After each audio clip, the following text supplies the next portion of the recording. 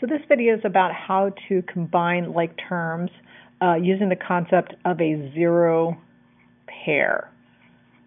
So a zero pair is something like when you have a 6 plus a negative 6, and these are opposites, and you're going to get a quantity that's equal to 0.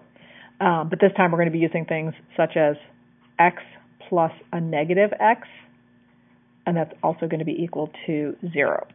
So I'm going to just redo some problems that we did in class today, just if you were absent or you just need a little bit of review. So once again, here's 2, so 2 represented by two dark little unit one, unit ones, 2x, so here's an x plus an x, here's another x, um, minus plus negative 3, and then plus negative 3x. Um, and then we're looking for zero pairs, so here's a plus 2, and then here's a minus 2, so this is a zero pair, so that is removed. And then here we have three positive x's, so 2x plus x is 3x, and a plus negative 3x. These are opposites, so those cancel. Those are zero pairs. And what we're left with is negative 1. Now, you're not always going to have the benefit of algebra tiles, so I'm going to kind of teach a couple other strategies on how to do this. So I like to use uh, colored pencils, but there's other ways you could do it, so like highlighter. So I think about collecting like terms. So here's a 2, and then the other like terms, the other constants are plus negative 3. So 2 plus negative 3 is equal to negative 1. And then I'm going to look at my um, just plain x's. So plus 2x and I always want to include the sign in front of it so I know whether it's positive or negative. So plus 2x plus x is 3x, and 3x plus negative 3x is 0, so these all cancel out. So let's build the other one. Once again, this is also from um, class today.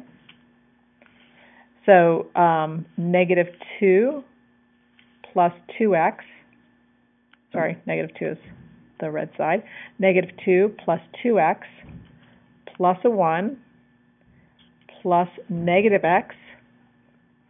And then these um, little bars represent 5 units. So this is the negative 5 plus 2x. Okay. So this is my expression, negative 2x plus 2x plus the 1 minus x plus negative 5 plus 2x. And once again, I'm looking for zero pairs so I can see I have a positive x and a negative x, so that's a zero pair. I have a plus 1 and a negative 1, so that's a zero pair. And then I'm going to combine my like terms. So I'm going to start with my x's. I have 1x, 2x, 3x's. So this is equal to 3x's. A negative 1 plus a negative 5. So plus negative 6, or you could just say 3x minus 6. Once again, looking at this without the algebra tiles, um, once again, you always want to make sure you include the sign in front. So plus 2x minus x, plus 2x minus x is x, plus 2x is 3x, which is what we have right there. And then with the constants, or the numbers that don't have, um, the terms that don't have variables with them, minus 2 plus 1 is negative 1, and negative 1 plus negative 5 is plus negative 6, or just 3x minus 6. Um, other strategies you can use is you can also be like, I'm going to underline these once, the terms that have just x's, and maybe double underline those. And once again, when you're finished, everything should be included, including all of the signs. And if you don't, then you might your your final answer might be off. And then 106. Okay, so this is problem 106 from today. Was looking at these, and uh, once again, these are the positive values, and the empty spaces are the negatives. And so you're looking for zero pairs. So the, the original expression. So I'm going to first write the original expression. I have 2x's plus 4 plus negative 2x plus negative 3. And then I'm going to look for zero pairs. I can see that a 2x and a negative 2x cancel. So a 2x and a negative 2x cancel. And then here I can see that three of the positives cancel three of the negatives. So I'm left with, so positive 4 plus negative 3, I'm left with just 1 for this answer. So that expression simplifies to 1. For part B, I'm going to write my original expression down first. So I have 2x squared, so 2x squared. I have plus 2x. I have plus 2. I'm dealing with all the positives first. I have plus negative 2x. And then I have plus negative 3. And then I'm going to see if anything cancels. There's no other negative 2x's, so I still have the 2x squared.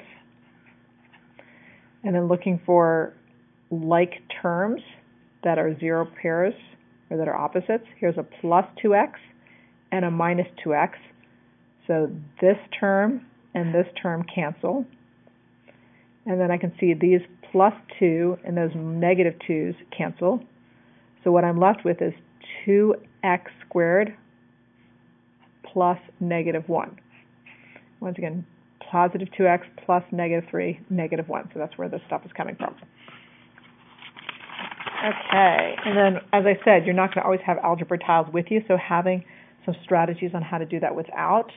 Once again, I like to use just uh, colored, you know, just highlighters or something. So I'm going to start with the variables first because that's the standard way that we would write it.